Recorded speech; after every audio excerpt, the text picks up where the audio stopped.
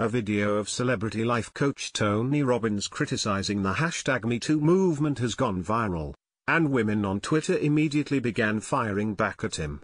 It all started when NowThis shared footage from a seminar in San Jose, California last month that showed Robbins mocking victimhood and thus the many people who have come forward with stories of sexual assault and abuse.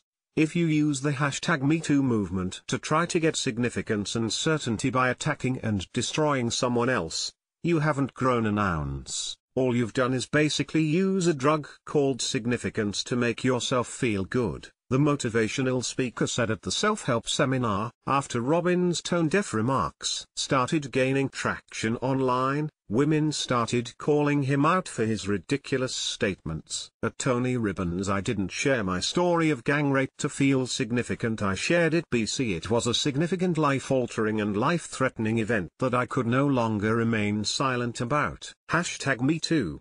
A user named Brenda Tracy tweeted. Gross at Tony Robbins. You couldn't be further from the mark. It's time for you to put down the mic and listen. Another person named Alison Becker said, if your famous pal can't trust himself and slash or his co-workers to behave respectfully and professionally around a qualified woman just because she's attractive then he has a personal or personnel problem it's not a problem of the hashtag MeToo movement at Tony Robbins https colon slash slash t.co slash dayjnab7dv Daryl Hannah, at Love Life, April 6, 2018 While addressing the crowd, the self-help book author claimed he wasn't knocking the hashtag MeToo movement, but instead was knocking victimhood. He also said that anger is not empowerment.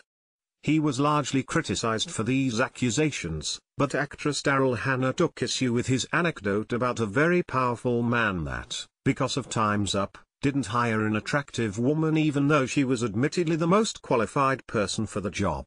If your famous pal can't trust himself and slash or his co-workers to behave respectfully and professionally around a qualified woman just because she's attractive then he has a personal or personnel problem it's not a problem of the hashtag MeToo movement, Hannah said.